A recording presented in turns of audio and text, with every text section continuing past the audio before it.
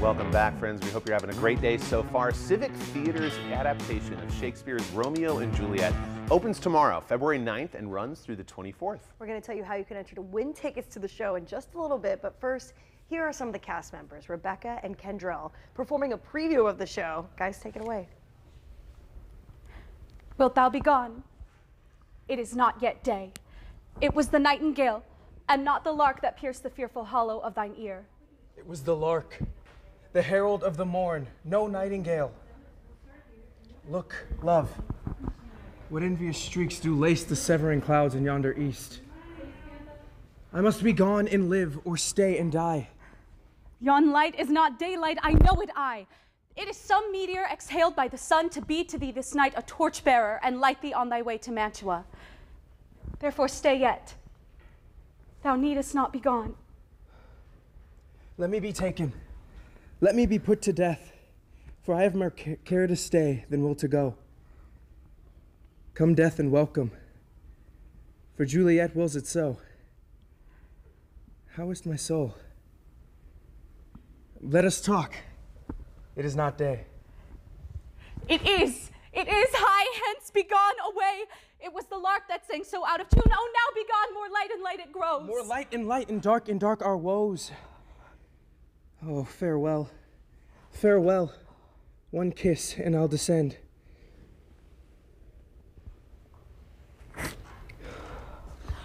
Oh, thinkest thou that we shall ever meet again?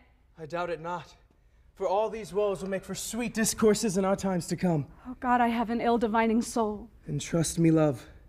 Adieu. Adieu. Rebecca, great job.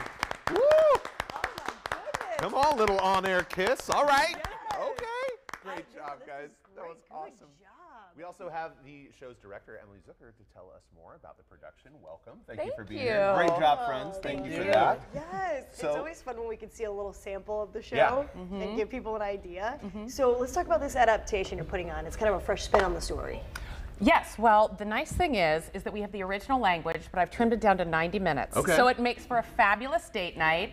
And if you love the play, you get all you want. And if you're a little daunted by the Shakespeare, we've trimmed it down and you'll understand everything that's going on. We have romance and sword fighting and all the good things that you want. Yeah, it's a classic for a reason. It stands Yes. up to the test of time. 100%. So, can the audience expect the same classic story, or have you changed other elements of the show too? Well, I haven't changed any elements of the show. We get all the story as we know it, but as you can see from these gorgeous costumes, They're great. we've set it in kind of a timeless period, which means that we have sort of modern meets uh, Renaissance, kind of showing that the story works anytime, any place, anywhere.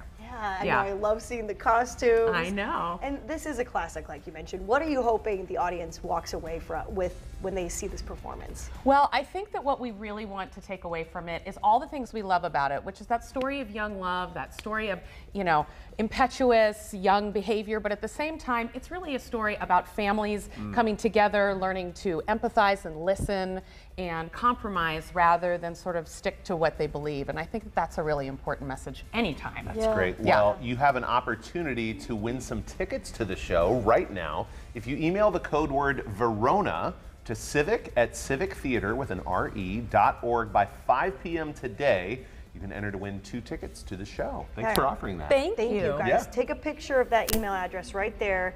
Send that in to get those tickets. Thank you all so much for giving us a Yeah, little great sample. job. Break a leg, friends. great. Yes. Thank you.